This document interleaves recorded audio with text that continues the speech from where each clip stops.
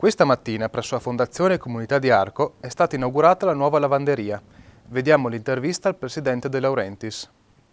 Beh, allora abbiamo inaugurato oggi la nuova lavanderia e il nuovo guardaroba della casa di riposo di Arco.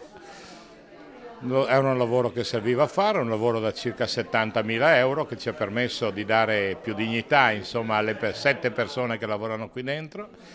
fanno tutti i santi giorni tranne la domenica dalle 7 della mattina alle 13 e naturalmente quello che conta è l'assistenza che viene data sostanzialmente ai nostri ospiti. Oggi ne abbiamo 150, tutto il vestiario dei nostri ospiti è fatto e sistemato direttamente qui dentro, mentre invece poi per quello che attiene il personale, quindi le 178 persone che lavorano,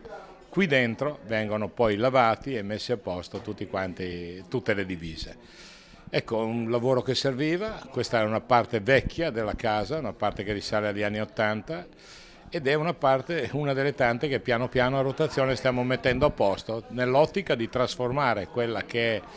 volgarmente chiamata una casa di ricovero in quello che invece è realmente già oggi, cioè sostanzialmente una casa di accoglienza per i nostri anziani.